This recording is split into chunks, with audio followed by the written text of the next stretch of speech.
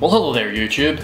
So last night I was at work and I was bending down to put some nice cold refreshing beers in the fridge when all of a sudden, a bam! This shit happened.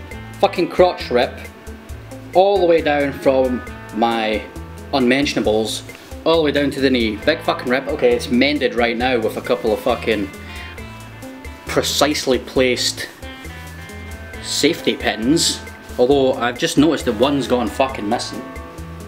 It's probably on my floor, I'm probably gonna fucking stand on it later.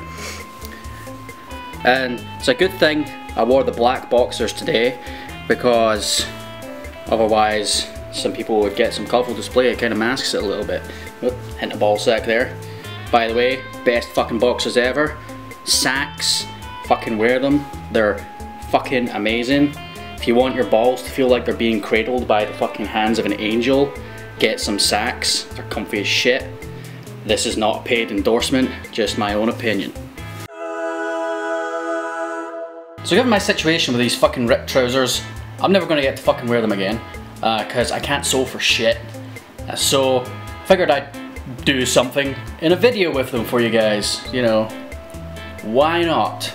So, I had a thought, you know, I've always wanted a pair of rip-away pants, you know, rip-away trousers like strippers have, you know, where they just fucking pull them off and all of a sudden, bam, you've got fucking, you're in your boxers or whatever. It would be so great to walk into the house and just go like, BAM! Whip them off and, you know, you don't have to fucking change.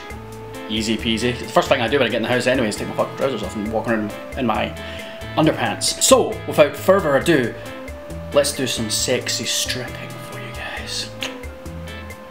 Girls, pay attention. Boys, look away. Unless you're into that kind of thing. And I'm totally okay with that. Just don't send me creepy messages. Okay, so I've taken the fucking safety pins off because I really don't want to cause a disaster. It's getting something stabbed in my hand. So, there you can see the full glory. You want to see it up close? You want to see it up close? You see? You see?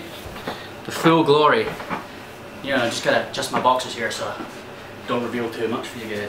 Alright, let's see. This is probably not gonna work.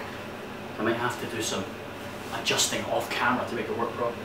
Alright, let me see. Here we go. One, two, three. No, not gonna work. I think we need a different approach. Okay, so I've made some fucking dope modifications. Can't even tell, right? Can't even see the duct tape. Right? Okay, so stripper time. So for stripper. So you gotta do, there'll be build up before the big reveal. I do one of those, right? Do a bit of dancing to the groovy, funky music. Yeah.